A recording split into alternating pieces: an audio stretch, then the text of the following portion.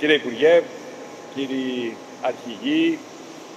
κύριε Διοικητά, κυρίες και κύριοι, με πολύ μεγάλη χαρά επισκέπτομαι σήμερα το κέντρο εκπαίδευσης της Καλαμάτας για να μπορέσω και εγώ ο ίδιος να διαπιστώσω την μεγάλη πρόοδο η οποία συντελείται πια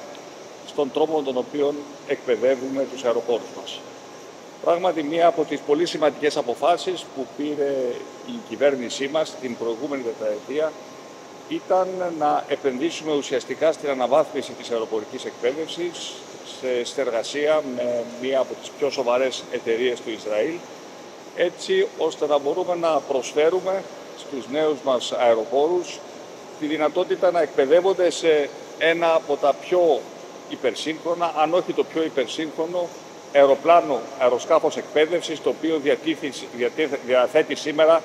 η παγκόσμια αεροναυπηγική βιομηχανία. Το αεροσκάφος, ε, το Leonardo 346,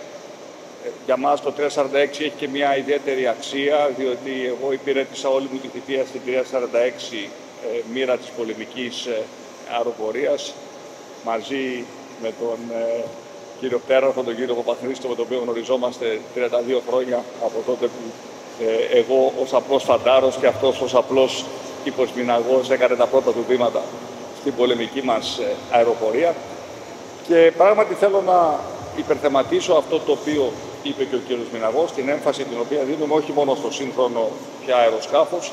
αλλά και στην εκπαίδευση η οποία γίνεται στο έδαφος, στους καινούριους εξομοιωτές, τους οποίους θα έχω την ευκαιρία να επισκεφθώ στη συνέχεια. Η υποχρέωσή μας είναι να προσφέρουμε στους νέους μας αεροπόρους την καλύτερη δυνατή εκπαίδευση.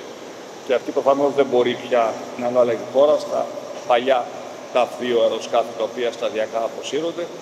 και όσο μεγάλη έμφαση και αν θέλουμε να δώσουμε στα καινούρια αεροσκάφη τα οποία προσθέτουμε στην πολεμική μας αεροπορία, αλλά τόσο αν όχι μεγαλύτερη έμφαση πρέπει να δίνουμε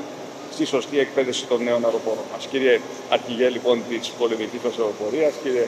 Αρχηγέ του ΓΕΘΑ, πιστεύω πράγματι ότι εδώ πέρα στην Καλαμάτα θα μπορέσουμε να εκπαιδεύσουμε σε ακόμα καλύτερες συνθήκες από ό,τι εκπαιδευτήκατε εσείς τους νέους μα αεροπόρου, αλλά και κάτι ακόμα, γιατί όχι, όπως είπατε,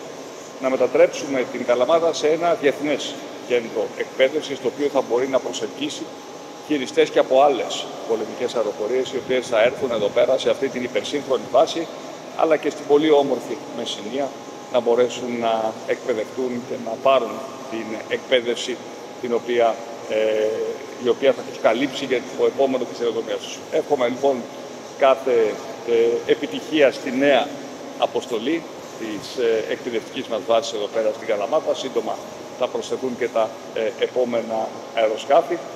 και με το καλό πάντα επιτυχίες συνολικά στην πολεμική μας αεροπορία. Σας ευχαριστώ πολύ.